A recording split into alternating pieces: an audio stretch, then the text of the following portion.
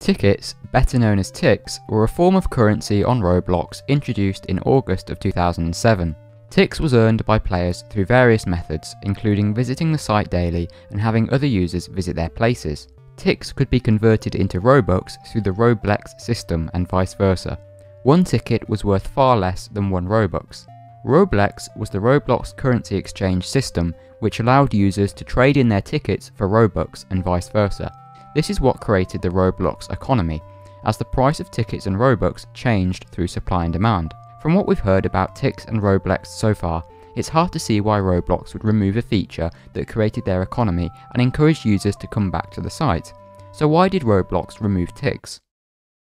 On March the 15th, 2016, Roblox announced through a blog post that tickets would be discontinued the following month, claiming that the currency was causing confusion and delay for many new users.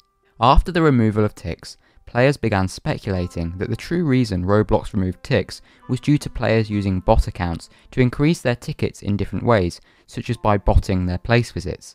The botting allowed users to turn all of these tickets into unlimited amounts of Robux very easily. Many people also speculated that Roblox had financial issues and wanted people to buy more Robux, but there's never been any evidence of this.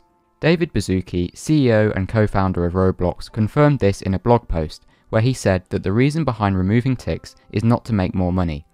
The primary reasons have always been product simplicity, botting, and not incentivizing certain behaviors. The majority of the community reacted negatively towards Roblox's removal of Tix, but going by the size of the platform, number of players, and the size of the Roblox economy, it's clear that Tix serve its time and the Roblox economy with the single currency of Robux is still thriving. A number of players have started rumours suggesting that Tix is making its way back to Roblox, but it's unlikely that Roblox will ever add Tix back. If they do add Tix or another currency to Roblox, it's unlikely that they will keep the same system that Tix used and will likely have more restrictions than Tix did when it existed. Considering that botting and exploiting were a primary reason for Tix being removed in 2016, things could go very wrong if Roblox were to reintroduce Tix back in 2022, and it's unlikely that we'll ever see Tix return to the platform.